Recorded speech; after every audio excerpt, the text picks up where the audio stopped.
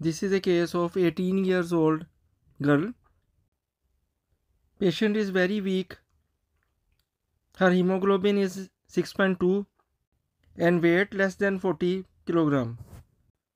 She has chronic illness with cough, low grade fever, loss of appetite, vomiting, abdominal pain from last 3 months. Now as the scan begins, all the major organs are normal. There are large consolidation echoes in right lung mid to lower zone. This is hypoechoic with internal hyperechoic streaks. Air bronchograms are seen. Consolidation is alveolar air spaces filled with fluid, exudate and transudate or blood and inflammatory cells, tissues or other materials.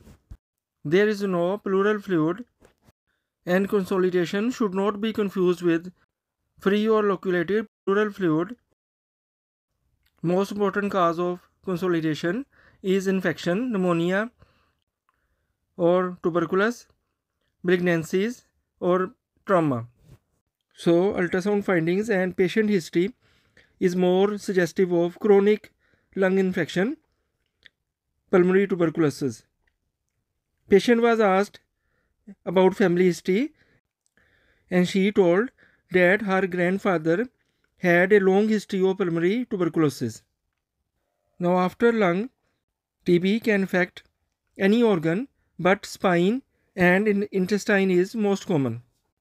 Both psoas muscles are visualized and they are normal, no collection seen. In right, mid to lower quadrant, there is a localized thick walled bowel loop segment. Length of the segment is 6.9 centimeter and the wall is hypoechoic thickened 5 to 6 millimeter. The location is cecum and part of the adjacent ascending colon. Hyperechoic internal lumen is seen and there appears to be mild nerving of the lumen. There is no free fluid or collection in the peritoneum.